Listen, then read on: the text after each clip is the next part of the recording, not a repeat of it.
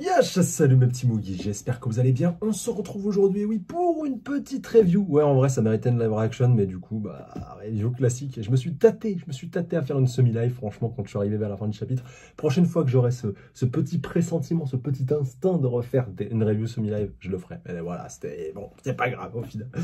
Euh, donc, ce chapitre 118 d'Eden Zero, qui était, ma foi, très très sympathique. Donc, on va reprendre tout ce qui s'est passé. Et ainsi vos petits commentaires à la fin, c'est parti, let's go. Déjà, Orc, que notre cher petit Shiki a éclaté dans le chapitre précédent, en mode overdrive, le met en garde justement auprès, euh, voilà, par rapport aux autres, utilisateurs euh, de l'éther, justement, encore une fois, de la gravité, et que, bien qu'il soit encore une fois balèze, il n'est rien face à Ziggy et face à un autre, euh, utilisateur, justement, de cet éther-là, qui nous sera révélé en fin de chapitre. Voilà, on reviendra un petit peu dessus après. En parallèle, on retourne justement sur les DENS, où Wise apprend bah, qu'il va devoir neutraliser un serveur satellitaire, un satellite, mais voilà, tu as, capté l'idée, géant, utilisé par Ziggy pour contrôler les machines, et le but n'est pas de le détruire, mais d'en prendre le contrôle pour tout ramener à la normale sur Foresta. Ce qui va être un petit peu plus complexe, un petit peu plus pernicieux, et c'est pour ça aussi bah, a fait appel à lui au cas où, euh, enfin, au cas où toutes les machines et toutes les étoiles stellaires euh, auraient été justement contrôlées euh, inopinément avant bah, qu'elles aient réussi à prendre le contrôle justement du satellite. Voilà. Donc grosse mission pour Wise, hâte de voir la suite. En parallèle, on retourne aussi sur Elsie et ses deux bras droits qui en fait maintenant bah, vont devenir des personnages récurrents, donc c'est assez stylé, surtout bah, voilà, qui sont grandement inspirés Ednatsu et Grey, même si c'est voilà, différent, mais sur pas mal de, de points, on va dire au niveau du, du de l'apparence, si on peut le qualifier comme ça, tu vois avec, euh, bah, je sais pas, le gars avec les manches courtes et tout. Alors, j'ai pas encore retenu leur nom, mais, euh, mais voilà, quoi, je les ai déjà trouvés euh, hyper stylés. Donc, ouais, hâte d'en voir plus par rapport à eux. Et puis, bon, ils sont pas au service d'Elsie par hasard. Et Elsie, bah, n'a une fois encore pas des masses de choses à envier à Erza, vu qu'à l'instar de cette dernière, elle change sa tenue un petit peu comme elle, comme elle le souhaite, mais là, je trouve quand même que le pouvoir, il, est bien trouvé, on va dire, vis-à--vis de son éther. C'est que c'est en fonction de la planète où elle se trouve. Et donc, à chaque fois, bah, elle aura une tenue différente en fonction de la planète où elle est. Donc là, nous sort le, sa collection justement en mode Foresta, donc encore une fois très très stylé, qui n'a rien à envier à Erza. Et euh, en plus de ça, elle va se servir de la technique de la grande ours pour neutraliser les machines qui arrivaient euh, vers elle. Ce qui n'est pas sans rappeler Jelal dans Fairy avec sa magie, si vous vous rappelez un petit peu. Justement, parlant de Jelal, bah, Justice apparaît à la case d'après, comme de par hasard. Et lui aussi est sur Foresta. Et comme par hasard, il sent encore une fois direct l'éther d'Elsie. Et forcément, bah, il veut se la faire. Alors, je sais pas si c'est au sens propre ou au sens figuré. Peut-être les deux. Hein. Après, c'est son problème. Mais en tout cas, voilà, peut-être un futur fight entre deux généraux. Parce que c'est vrai que c'est un aspect que j'avais totalement zappé entre les. Et que je réévoquerai aussi en fin de vidéo. Mais euh, certes, il y a les Oraxon Seis. dont font partie Drakenjo. Euh, euh Shura Poséidon aussi, bien sûr, et euh, Elsie. Et il y a aussi les généraux stellaires, tu vois. Donc, euh, qui sont aussi des Roraxon 6, en fait, tout simplement, dont Justice. Et euh, bah, tous les autres membres qui nous avaient été dévoilés en même temps font partie. Donc voilà, 6 et 6, ça pourrait être assez intéressant. Je, vous développe un petit peu après à tout ça. en parallèle, on retourne sur Rebecca qui est très mal en point, mais qui elle aussi va passer aux choses sérieuses grâce à sa vitesse, et donc forcément son éther. Omura, elle, bah, c'est un peu toujours la même face à Willy Wonka. Et pareil, bah, il parle mal de ses amis. Donc forcément, là, elle va passer en mode serious business. Et donc, euh, voilà, Willy Wonka peut, se préparer à, à, claquer. Et enfin, on sera ensuite sur Nero 73. Donc une planète euh, qui semble assez euh, prospère, on va pas se mentir. Voilà, semble faire bon vivre, on va dire. ou le fameux Shura, donc, qui était évoqué un petit peu plus tôt par Orc, en fait, au début du chapitre. Il semble en fait qu'il soit directement filié à ce dernier. Euh, nous est montré en charmante compagnie, tu vois. Et quand une de ces euh, deux nouvelles, euh, comment on pourrait qualifier ça, voilà, sans être péjoratif, putain c'est chaud quand même, deux de ses escortes, hein, voilà tout simplement. Quand une de ces escortes arrive à, la bourre, elle s'excuse, tout ça et tout, et les autres, voilà, qui font mine entre guillemets, ouais, c'est pas grave, tout ça et tout, enfin genre débarrasse-toi d'elle, tout ça et tout. Vous savez ce qu'il fait le bouc? Bah, Vous le savez en vrai, il bute les deux autres et celle qui arrivait à la bourre, il lui fait rien, tu vois. Non mais, euh, ça... Ok. Et donc on apprend que ce, très charmant Boog est euh, le fils de Nero Poséidon, donc l'autre, euh, le fameux général, voilà, comme Draken Jones et tout, et puis, et puis Elsie. Donc lui, c'est son fils, carrément. Et lui aussi possède donc les terres de gravité, donc c'était lui, à lui bah, que faisait référence Orc au début du chapitre. Donc, ouais, ça, ça se pose là, très très clairement. limite, lui aussi aurait le level, je pense, pour être pour être un des généraux, mais surtout si le fils a ce level-là, c'est quoi le level du père, s'il te plaît, quoi. Enfin, vraiment, faut nous expliquer le, le bail. Non, franchement, il est, il costaud. Même si, bien sûr, bah, après l'avoir vu ce qu'il a fait, voilà, bon, il a rien à envier à Dragon Joe non plus, tu vois.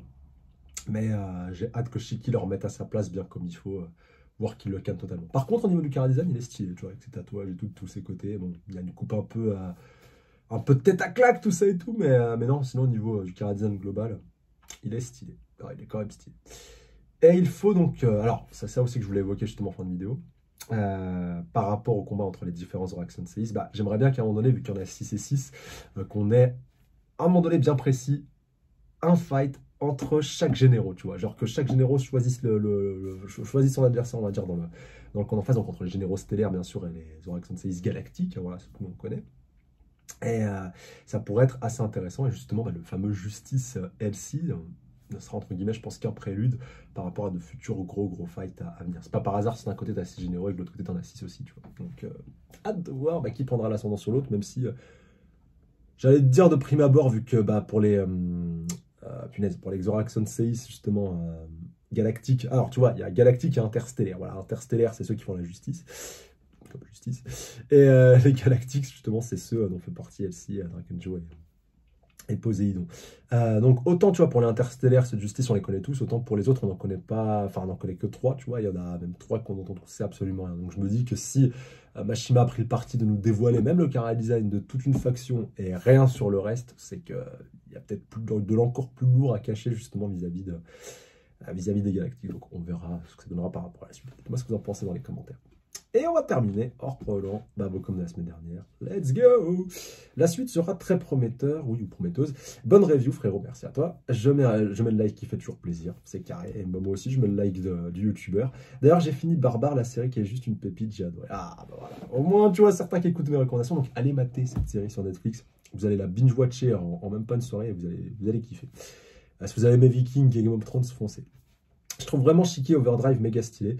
J'ai hâte que ce soit adapté en animé et Denzero a vraiment la possibilité et le potentiel de nous créer une histoire vraiment folle. Ouais, c'est vrai, c'est vrai, c'est vrai. Même si là, on va dire au niveau de la, structure, enfin je veux dire, juste par rapport à ce chapitre-là, et même on va dire vis-à-vis de la construction des arcs précédents, bah là, là je trouve quand même qu'on retourne vachement dans du, euh, dans du fairy tale. Alors pas dans le mauvais sens, c'est pas péjoratif ce que je vais dire, mais dans le sens où euh, tous nos compagnons sont séparés, ils sont en train de se faire éclater, et là ils sont en train de revenir en puissance. Enfin, vous voyez un petit peu comment Machima structure, mais en parallèle, on a le fil rouge qui, qui avance, on introduit plein de nouveaux éléments, voilà quoi. Mais on va dire vis-à-vis euh, du, euh, déroulement d'un arc, on va dire, voilà, comme Machima a euh, l'habitude de le faire, bah, on reste sur quelque chose d'assez classique, avec chaque, bah, chaque, ouais, chaque membre de l'équipage justement qui, a, qui va avoir son adversaire à se faire, qui est plus ou moins mis, mis mal en point, malmené, tout ça et tout et euh, qui par la suite justement bah, va sûrement euh, se reprendre comme Shiki euh, l'a fait, comme Rebecca va sûrement le faire, pareil pour Moulin, et après il bah, faudra voir justement ce que Wise va faire de son côté, tout ça, tout ça, tu vois.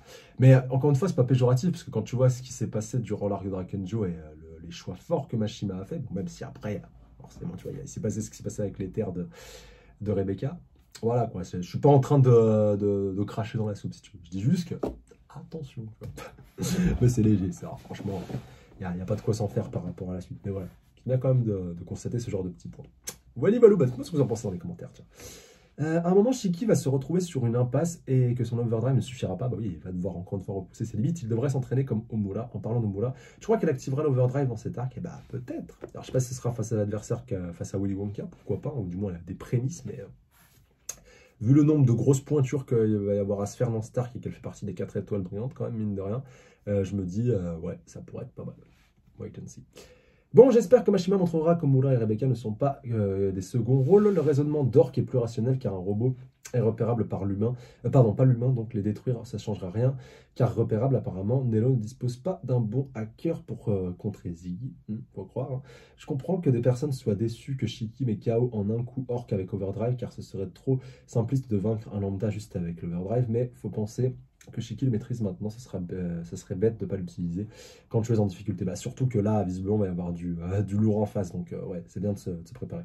Bon, si ça montre que Shiki a besoin de l'overdrive pour vaincre un simple sbire, alors contre Neros, ce sera plus difficile. Bah oui, mais j'espère encore que se relèvera. Ouais, non, faut, pas rêver non plus, surtout qu'il bah, y a encore d'autres trop grosses pointures à venir.